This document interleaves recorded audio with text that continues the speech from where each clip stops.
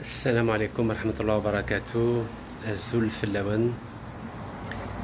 J'ai voulu commencer ce live avec euh, une minute de silence à la mémoire de nos frères et sœurs marocains qui sont morts à la suite du terrible tremblement de terre qui a eu lieu dans la région de Marrakech.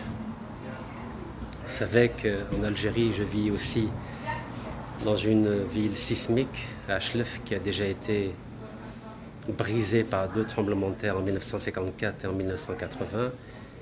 Et actuellement, je me trouve aussi dans une ville sismique à San Francisco en Californie, qui il y a un siècle déjà été aussi meurtrie par un terrible tremblement de terre.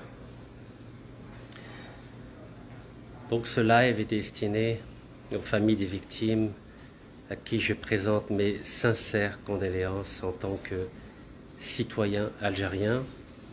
Et pour ceux qui ne le savent pas, Marrakech est une ville qui compte beaucoup pour moi et pour ma famille, car j'y ai vécu pendant trois ans, trois belles années avec ma femme et mon fils qui étaient inscrits à l'école américaine de Marrakech et c'était des souvenirs inoubliables.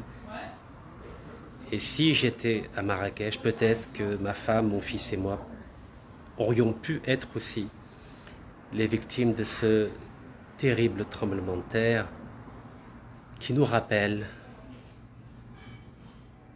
qu'il n'y a pas de frontières pour Dieu.